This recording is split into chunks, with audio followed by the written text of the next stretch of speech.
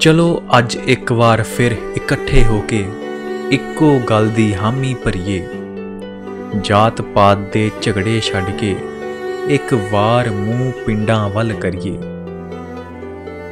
ਮੋਢੇ ਤੇ ਸਾਫਾ ਇੱਕ ਦਾਤਰੀ ਉਸ ਵਿਚਾਰੇ ਦੇ ਹੱਕ ਵਿੱਚ ਖੜੀਏ। 1.5 ਜੀਬੀ ਮੋਬਾਈਲ ਡਾਟਾ ਹੈ ਰੋਜ਼ ਮਿਲਦਾ। ਸੋਸ਼ਲ ਮੀਡੀਆ ਤੇ ਆਜੋ ਕੁਝ ਹਿੱਸਾ ਉਸ ਵਿਚਾਰੇ ਦੇ ਹੱਕ ਵੀ ਖਰਚ ਕਰੀਏ। ਸਪਰੇਆਂ ਤੋਂ ਸਿਰਫ ਕੀੜੇ ਹੀ ਮਰਵਾਈਏ, ਬੋੜਾਂ ਤੇ ਸਿਰਫ ਪੀਂਗਾ ਪਾਈਏ।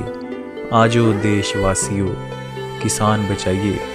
ਆਜੋ ਦੇਸ਼ ਵਾਸੀਓ ਕਿਸਾਨ ਬਚਾਈਏ।